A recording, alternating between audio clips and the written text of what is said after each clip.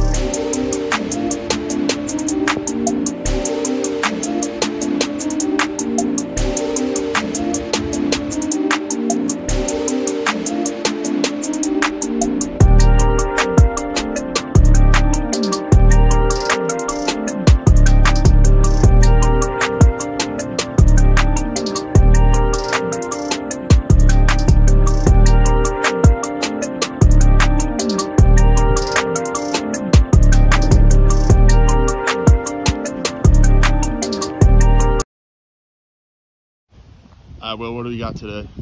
Um, got some hill sprints today. I think it's three by three, 20 meter. Um, you know, essentially max effort. Uh, you know, still working accel development pretty early in the summer. Uh, hashtag Mike's plan, and um, you know, we're, we're gonna get after it. So right here, actually, it looks pretty good. It's steep. I'll say this is actually a, actually very ideal hill, actually. Yeah. It has the curvature of the track.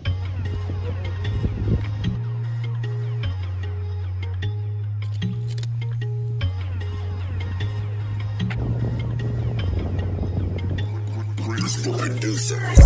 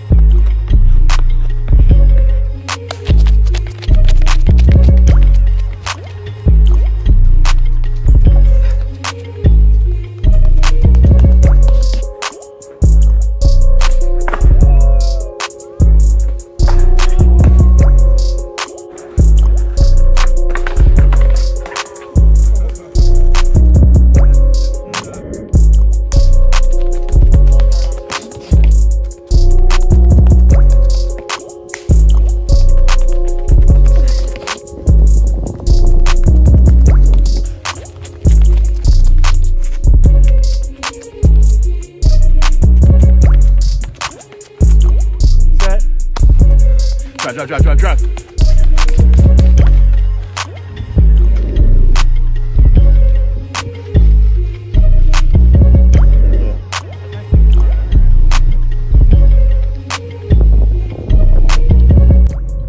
We just finished the hill workout at Bond Park, and uh, now I'm gonna rest for a little bit, and then uh, get ready for Raw. If you're new to the channel, um, you know, I'm a decathlete, and uh, you'll be seeing a lot of just track and field videos, bunch of workouts, uh, challenges, um, tips, drills, everything. So uh, make sure you hit that like and subscribe button below, and uh, share, show your friends, um, and yeah, let's get to it.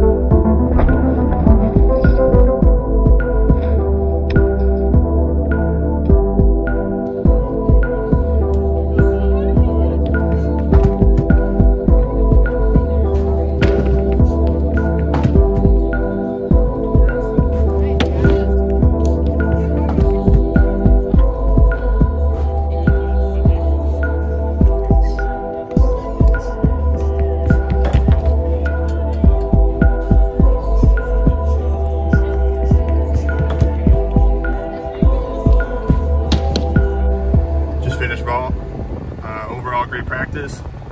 Um, if there's anything that I can learn from uh, this is consistency is the ultimate key. The more you do something, whatever it is, whether it's running, throwing, swimming, surfing, skateboarding, whatever, uh, the better you get at it. So I've been vaulting a lot this uh, past couple months, and um, you know, breakthroughs on the way. I'm excited, and uh, yeah, for anything, if you want to get good at something, the more you do it, the more time you put into it, effort, the more you're gonna get out of it.